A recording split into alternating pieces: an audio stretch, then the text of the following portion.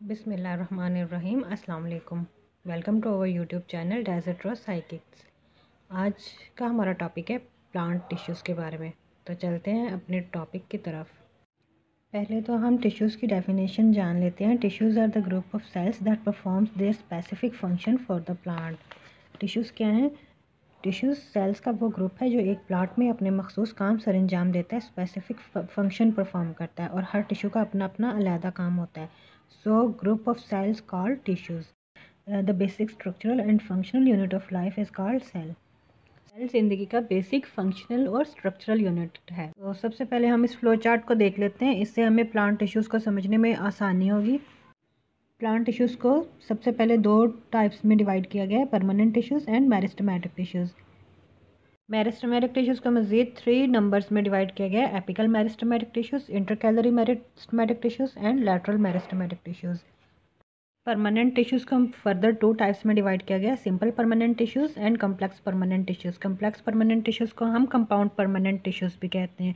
Simple permanent tissues में parenchyma collenchyma sclerenchyma and epidermis शामिल है और कम्प्लेक्स परमानेंट टिश्यूज़ में जाइलम एंड फ्लोइम शामिल है। सबसे पहले मेरिस्टमेटिक टिश्यूज़ की बात कर लेते हैं। This tissues have cells that can divided and develop more further tissues this tissues exist in different parts of a plant meristematic tissues क्या हैं? मेरिस्टमेटिक टिश्यूज़ की डेफिनेशन ये है कि ये टिश्यूज़ डिवाइड होने की सलाहियत रखते हैं भरपूर सलाहियत रखते हैं डिवाइड होने की। और इन, इनके डिवीज़न से मोर फर्दर टिश्यूज़ डिवेलप होते हैं। और ये टिश्यूज़ हमें प्लांट में डिफरेंट पार्ट्स पर मिलते हैं और इनका फ़ंक्शन प्लांट्स की ग्रोथ और प्लांट में ये हीलिंग पावर रखते हैं। मेरिस्टमेटिक टिश्यूज़ की मज़ीद फर्दर टाइप्स में डिवाइडेड है। First of all apical meristem this type of tissues are found in the tips of stem and roots and and its function is the lengthening of a plant from root to shoot apical meristematic tissues roots के end पर और stem के tip पर सबसे ऊपर जहाँ stem ख़त्म हो रही होती है प्लांट की स्टेम टिप पर मौजूद होते हैं और इनका फ़ंक्शन क्या होता है? प्लांट की लंबाई में इजाफा करते हैं। और ये प्लांट की ये ग्रोथ, प्राइमरी ग्रोथ कहलाती है। लेटरल मेरिस्टमेटिक टिश्यूज़ क्या हैं? This type of meristematic tissues develop a thick and solid structure to the plant और increase plant stems width lateral meristematic tissues ये ठोस और थिक सेहतमंद हेल्दी स्ट्रक्चर देते हैं प्लांट को और प्लांट की स्टेम की विर्थ में इजाफा करते हैं, मोटा करते हैं हेल्दी करते हैं। प्लांट की ये ग्रोथ सेकेंडरी ग्रोथ कहलाती है। करते हैं इंटरकैलरी मेरिस्टेम टिश्यूज़ की। This type of tissue is found at the internodes of a leaf. These helps in strengthening the internode size and developing plants organs, such like flowers and leaves. Intercalary meristem tissues हमें कहाँ मिलते हैं? ये inter nodes पर मिलते हैं। और inter nodes क्या हैं? दो नोड्स के दरमियानी फासले को इंटर नोड्स कहते हैं। और नोड्स क्या हैं? Node is the point of attachment of a leaf to the primary stem ये इंटर नोड्स की स्ट्रेंथ में और साइज़ में इजाफा करते हैं और प्लांट्स ऑर्गन भी डिवेलप करते हैं, जैसे कि फूल, पत्ते वगैरह। ये ग्रासेस में कॉमन होते हैं, दोबारा घास को उगाते हैं। जब भी कोई हर्बीवोरस घास को खाता है तो हम देखते हैं कि दोबारा से घास दोबारा से बड़ी हो जाती है। तो उनमें ये इंटर कैलोरी मेरिस्टमेटिक टिश्यूज़ पाए जाते हैं, जो कि घास को दोबारा उगाने में मदद करते हैं। ये थे मेरिस्टमेटिक टिश्यूज़ उनकी फर्दर टाइप्स अब नेक्स्ट हैं परमानेंट टिश्यूज़ परमानेंट टिश्यूज़ की डेफिनेशन क्या है? They don't have the power of division this tissues can divide them self the function of permanent tissue is to provide strength and flexibility to a plant ये cells divide होने की बिल्कुल सलाहियत नहीं रखते। परमानेंट टिश्यूज़ का function ये है कि ये प्लांट में फ्लेक्सिबिलिटी लचक डेवलप करते हैं और स्ट्रेंथ प्रोवाइड करते हैं और साथ साथ प्रोटेक्शन और सपोर्ट भी फराहम करते हैं। Permanent tissues further two types में डिवाइडेड हैं कम्प्लेक्स परमानेंट टिश्यूज़ और simple permanent tissue simple permanent tissues क्या हैं? ये सिंगल टाइप ऑफ़ सेल पर मुश्तमिल होते हैं। सिंपल परमानेंट टिश्यूज़ में सबसे पहले स्क्लेरन टिश्यूज़ हैं। Tissues are content dead cell and give the hardness and strength to the structure, such like almond shell. ये टिश्यूज़ डेड सेल पर मुश्तमिल होते हैं. No intercellular spaces between cells ये स्ट्रक्चर को हार्डनेस देते हैं स्ट्रेंथ देते हैं. जैसे कि आलमंड शेल या कोकोनट हस्क वगैरह. Form protective coverings around nuts काइमा tissues को ग्रिस्टोन एंड स्टोन सेल्स के नाम से भी जाना जाता है. और sclerenchyma have heavily thicken secondary walls containing lignin lignin plants की सेकेंडरी सेल वॉल्स में पाया जाता है, जहाँ ये सेलुलोज फाइबर में बाइंडर का काम करता है और सेल वॉल को हार्डनेस या स्टेफनेस प्रोवाइड करता है। Sclerenchyma tissues found in immature parts of plant permanent tissue की नेक्स्ट टाइप है collenchyma tissues these tissues are made up of pectin and these are inter living cells we can find them edges path of leaf and stems collenchyma tissues में बिल्कुल भी नहीं और या फिर बहुत कम इंटरसेलुलर स्पेस प्रेजेंट होती है सेल्स के दरमियान में। ये नरम पौधों के नरम हिस्सों को सपोर्ट फ्राहम करता है। Tissues uneven thick walls elongated living cells से बनता है, जिसमें हेमी सेलुलोज सेलुलोज और पैक्टिक मटेरियल शामिल होते हैं। और इसका काम प्लांट्स के पत्तों की वेन्स और स्टेम को स्ट्रक्चर को सपोर्ट फ्राहम करना प्लांट्स के पेट्यूल को सपोर्ट फ्राहम करना और फ्लेक्सिबिलिटी फ्राहम करना है। विदाउट ब्रेकेज ये बिल्कुल ऐसे ही है कि अगर हम किसी फूल को थोड़ा सा टर्न करें थोड़ा सा मोड़ें तो वो वापस अपनी जगह पे आ जाते हैं। तो वो फ्लेक्सिबिलिटी या इलास्टिसिटी पाई जाती है, जो कि कॉलन काइमा टिश्यूज़ जनरेट करते हैं।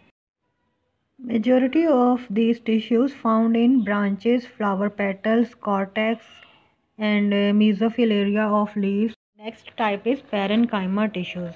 These tissues are based on living cells that are polygonal shape and uh, they are responsible for the pith and ground tissues in a plant. Parenchyma tissues living cells पर मुश्तमिल होते हैं consist of thin cell walls and cell wall is made up of cellulose and they have inter cellular space between cell इनके cells के दरमियान space पाई जाती है। और ये लिविंग सेल्स पर मुश्तमिल होते हैं जो कि स्फेरिकल होते हैं।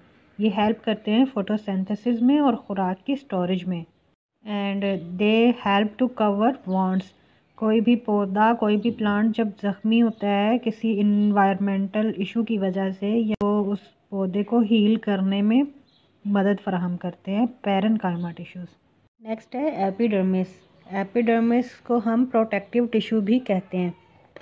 Primary dermal tissue called epidermis make up the outer layer of all plant organs plant के ऑर्गन की सबसे ऊपर वाली तय बनाती है, जिसे हिफाजती तय भी कह सकते हैं। ये सिंगल टाइप ऑफ़ सेल्स पर मुश्तमिल होते हैं और प्लांट बॉडी को कवर करते हैं। ये रुकावट पैदा करते हैं बैरियर बनाते हैं प्लांट के टिश्यूज़ को बाहर के सख्त माहौल से।